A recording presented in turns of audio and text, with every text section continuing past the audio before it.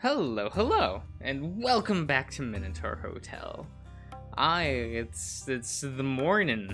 It's, the sun is rising. I just got back from playing, playing card games at a shop like an hour away. It's late. The sun's not rising actually. It's still in like the, it will be rising in a couple, an hour or two, but it, it, it's fine. It's it's fine. I need sugar in liquid form. I'm gonna get through with this video. you know how it is. Yeah. Anyway, let's just let's continue. Oh, okay. I don't remember what's happening. But you know it's the speedrunner route, so does it matter? But your spindly limbs and uncoordinary frame lack the grace to make it through. Like a beast, you fall down and walk on all fours.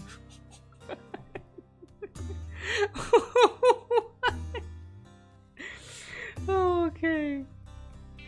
And yet, the snake's song chokes here and there. There doesn't seem to be any rhyme or reason to it. He just stops mid note.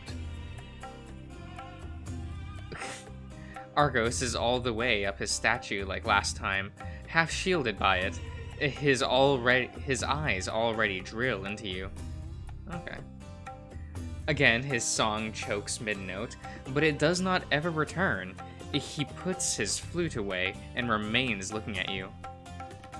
Your standoff your standoff extends for longer than a minute. You try to think of something to say, but you are shy and confused we're a speedrunner. We're not shy. We are we're, we're stupid. There's a difference. You are so small compared to the immense statue. Uh, the lady's knees are bigger than your whole head. How inadequate you are compared to the giant lady. In all senses, all the anxiety over it, uh, over it makes you sweat. In a flash, your shirt is wet around your armpits. okay. It even drips down onto your pants. Meanwhile, the snake watches your every move. When you look down onto your increasingly wet shirt, he recoils and hides behind the statue. You, you take a step forward, almost tripping on a pebble, and the snake lets out a shriek. Don't come any closer! Whatever you are, whatever you are thinking of doing, I won't fall for your tricks. I'm sorry, I don't understand what you are. I'm smarter than that. You aren't normal. What do you mean? There must be, there must have been some kind of mistake. How did fate allow something like you to inherit the hotel? You are trying to do something. I just know it. Well, I won't play along. I have a duty to fulfill, and by the gods I will do it. But I will not let my guard down. Don't ever try any of your tricks. Wow, that's rude. That's rude. I'm just I'm just doing my thing. I'm just I'm just back flipping down the stairs. It's fine. Uh, you fix your gaze on the snake, trying to convey your weakness to him. Perhaps uh, perhaps he will see how wretched a creature you are. See that there's no how wretched. Okay. See that there's no need to be afraid. The more you look, however, the greater his panic becomes. he reaches and uh, he reaches a uh, peak. Yes, when you finally break through your stutter and manage to say something. Okay. He recoils in disgust.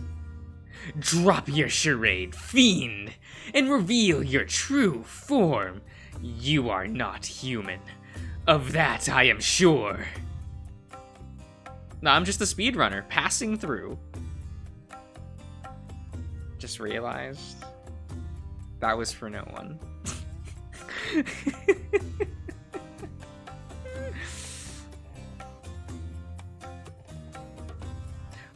what is a speedrunner?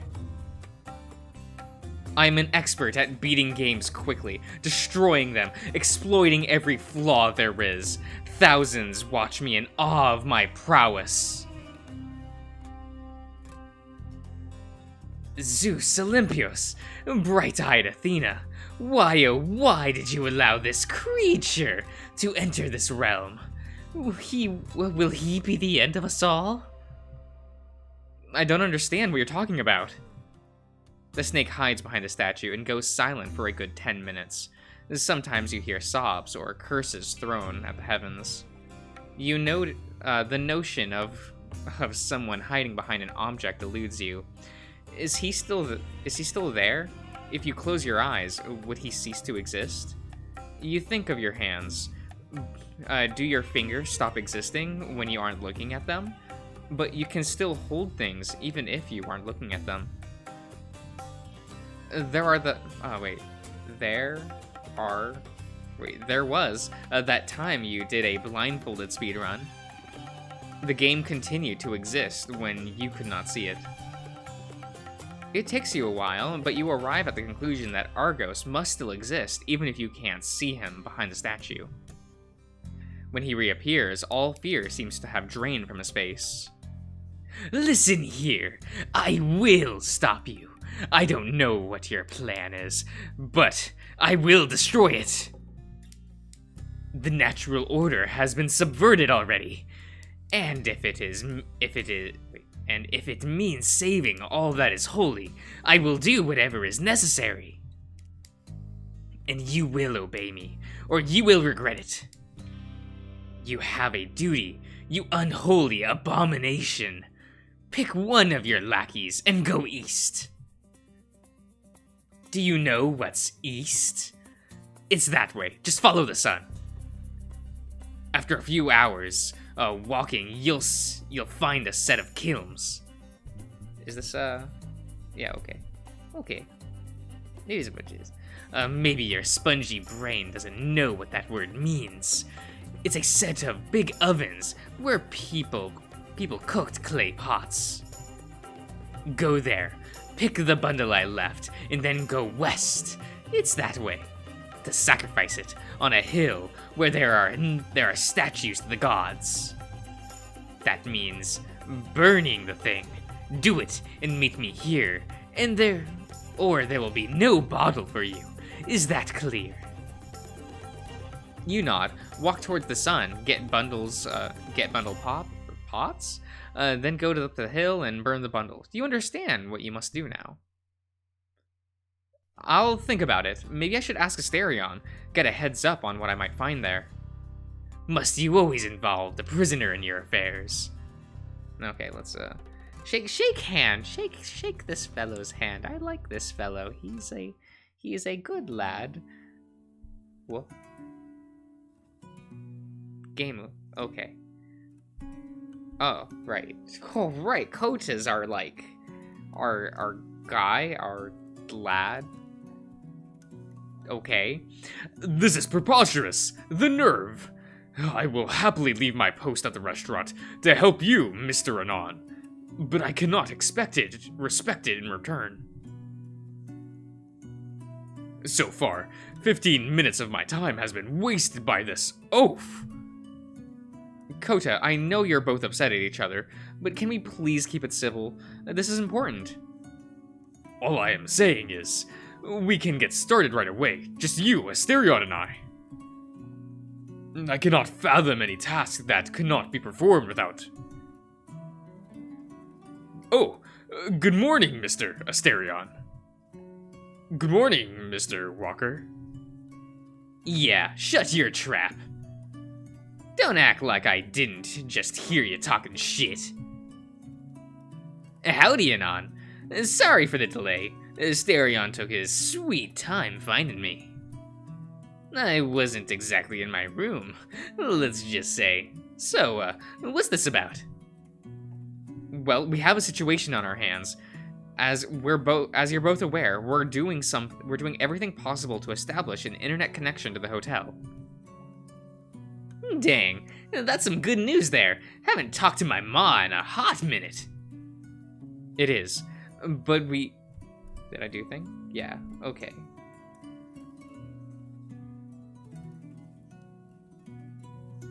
Special rule for speedrunner? What? What the? Oh, wait a minute. Uh, the tutorial just said this may leave your guests unavailable for a couple of days. Yes, what about it? May. Uh, that means there's a chance that things might go right. Uh, think of all the skips I can pull with if it if I do. Can I save scum? Due to your background of choices, uh, surveying rewards has a higher chance to be doubled. Ooh. Additionally, if you choose to face the dangers of the labyrinth head on, there's a chance you will reap additional rewards instead of temporarily disabling characters. Yeah, but how do I access that? Is it just going to be in the menu? Is that like... Is that just... Okay.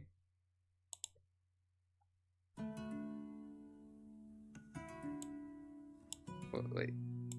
Let me move. Move you. Move. Move. Okay. Um. Oh, wait. Use to find artifacts that improves your team's stats? Oh, lit. Use to find raw materials. Mementos. Okay. Interesting. But how do I how do I speed run it? How do I do that? Do it Oh. Okay. We will we will shut up, don't look at this. How I But how I do? I want rewards. I I see double rewards. How do I do? Do I automat? Do I save scum it? Okay. Nah, I'm not doing this. I'm not taking this guy on a fucking picnic with me. Oh. Okay. Uh, but raw materials, artifacts.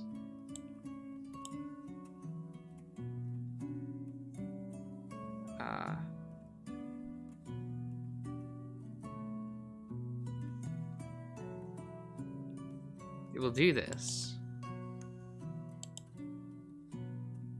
With four of you assigned to your roles, you bid Asterion and Kota farewell as Luke and you head towards the staircase leading to the valley. Wait. Wait. What the? That's fine. We go. You go. Uh, while Luke investigates the place, you search uh, for the offering Argos described. You open the door to the cracked, yeah, cracked kiln. Kiln. Light pours in, and a rancid smell creeps out. It clings to your nostrils and tongue, a metallic, rank scent. It claws its way into your chest and flares the fire burning in you. The contents of your stomach boil up into your throat, and you cringe while trying to keep yourself together. The searing stench of unrelenting is thr wait, is thrashing thrashes inside you and trying to grasp your heart until a uh, groan yeah, until a groan begins uh, wait, brings you back to reality. Inside there is a pit, more than six feet deep. Dug out a wait, dug out is long a, a long time after the kiln's original construction what is this? Uh, something in something shifts inside the kiln. A dark shape whose every movement is accompanied by the ramble of rock and groaning, groaning against itself. There's a head with aim with eyes aimed at you and swinging, yeah, swinging from side from left to right, like everyone, like everyone trapped in a convulsion. The whole. Oh, I don't like that. I don't like that. Holy shit, partner. Be more careful next time. Oh, wait. Listen, Anon. I think it would be best if I handled this, just in case more critters jump at you. And you ain't so lucky. May not look like it, but your old pal Luke's been through some shit. Uh, tougher shit than this. You sure? Sure, I got this. You should get your ass back to the hotel. What a gentleman. You let Luke explore the rest of the kilns and get ready for the long walk back to the hotel. The expedition took you long enough to, I can probably. Whoa.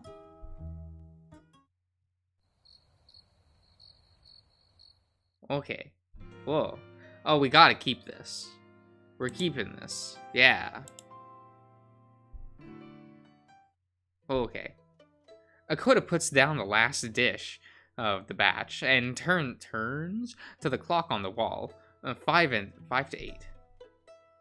Very few guests have shown up for an early breakfast today. The only people so far were the South South American workers. Akoda has grown fond of their company these past days, and they in turn enjoyed his his gra grav wait gravelly uh, voice and the jokes, smiles, and extended explanation he brought with each dish. Perhaps uh, they were not used uh, to being treated so well. And of course, they love his cooking, even if it was so dis so distant from what their wives cooked back home. That audio looks quiet. Okay. So there was a certain disappointment in the air when this morning Kota didn't serve his usual steamed rice, uh, grilled trout, and kobachi. Instead, the dragon had cooked quite the unusual, yeah, the unusual uh, special for the day. Still, Akoda's cooking left nothing to be desired. And they uh, chowed down nevertheless. A happy, yeah, a happy customer always uh, cheered Kota up. But as the clock kept uh, ticking, he began to wonder if the uh, the efforts was was worth it. Oh. Oh, good morning, Mr. Walker. Morning. The dragon, uh, wait. Luke drags a stool back. That is what that says. There is no dragon and he's on the page, but not in the text. I don't know. it's it's it's fine. It's fine. Uh, Luke drags a stool back, plopping himself on the other side of the bar, and rests his hands on the counter. Luke looks off to the side to the other guests chatting about. He swings his feet while twiddling his thumbs. Kota, meanwhile, looks down to wash some cups. He waits for it, for the inevitable tasteless joke from the griffin. He doesn't even look up, so sure uh, is he that it's coming. But it never arrives. He gives Luke a glance, two, three, until they are staring at each other in acknowledgement. Kota pulls out a tray of a tray and places it in front of the griffin. You showed up on time. Luke looks down at his dish. Pancakes, fried eggs, bacon, and freshly squeezed orange juice. Yep. And you weren't talking shit about me when I got here, so I guess we both deserve a hurrah. You gave me more than enough reason to do that. Luke grabs a strip of bacon off the plate with his hands and dips it in the egg yolk, yolk, yolk, and uh, opens his beak wide to swallow it whole. Uh, perhaps such a display would have brought dismay to Kota just a week ago, but this time he finds himself unfazed by it. No, I didn't. I know I can be difficult to deal with, but that doesn't mean you should badmouth someone uh, when he doesn't have a chance to defend himself. It ain't, uh, yeah, it ain't a uh, gentlemanly thing to do. But you do have a point. I came on, I came onto you, made you uncomfortable, and then escalated the situation. It was a shitty thing to do. I apologize. You are forgiven. And I admit I have misjudged you. And in fact, your eagerness to help Mr. Asterion and um, Mr. Anon has revealed a few qualities I must respect. You could have stood by and done nothing, but you offered your friend your your help for a risky, difficult task. That, and I suppose, says more about your character than any petty squabble ever could. Luke smiles, uh, cuts off a big chunk of pancake, and then folds it in half and slides it, slides the entire massive piece down his gullet. He's serving pancakes? Okay. Is there no theming for, for the food here?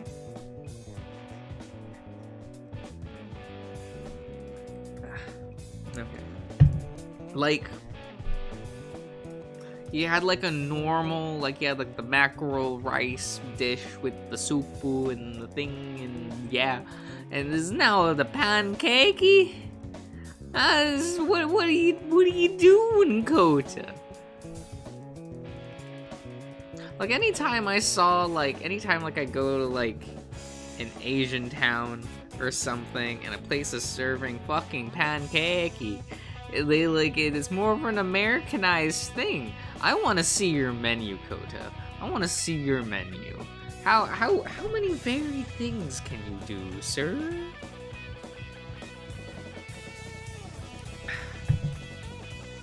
I'm tired. my my my brain is a little fried. I was, you know, I was playing Shiryuki today, and like one of one of my friends always he always plays Tachikaze. I was playing Vanguard, by the way, and he, he his main clan is Tachikaze. Having to play around just those fucking multi-attack combo shenanigans. Fuck you. I didn't drop a single game though, because I'm, I'm 10 out of 10. I'm amazing. So it is what it is. Anyway, I'll, I'll see you around, everyone.